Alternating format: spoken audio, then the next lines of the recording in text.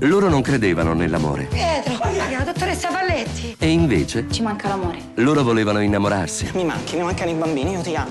Mo ti amo, ti amo, ti amo, ti amo, ti amo. e invece Vattene Dio, vattene! La mia vita fa schifo, non ho un uomo, al lavoro mi massacrano. Mi ha abbandonato, mi ha lasciato da solo, con una figlia di un anno. solo Alex e Nicky credono ancora nell'amore. Scusa, ma ti voglio sposare. È vero, che ti sposerai. Mamma, papà, mi sposo. Ti faccio tanti, tanti cari auguri.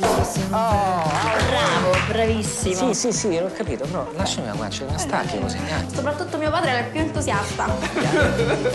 Cambiare casa, a fare la spesa e fare i conti a fine mese. A la casa al mare, a da avere un figlio. Stai guardando il mio tatuaggio? Bello, eh? Cinese. Dragone inviolabile. Che carino. Guardi questo.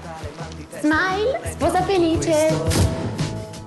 Per amore. Guarda che ormai il 50% dei rapporti d'amore nasce su internet. Io ce l'ho Messenger, se rimorchia una cifra. E anche i tradimenti.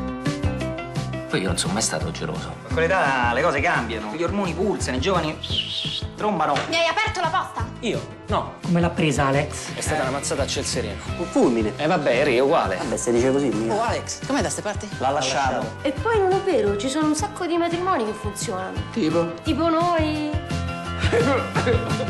Medusa Film e Arella Film presentano Dopo Scusa ma ti chiamo amore, Scusa ma ti voglio sposare. Il nuovo film di Federico Moccia. Dal 12 febbraio al cinema.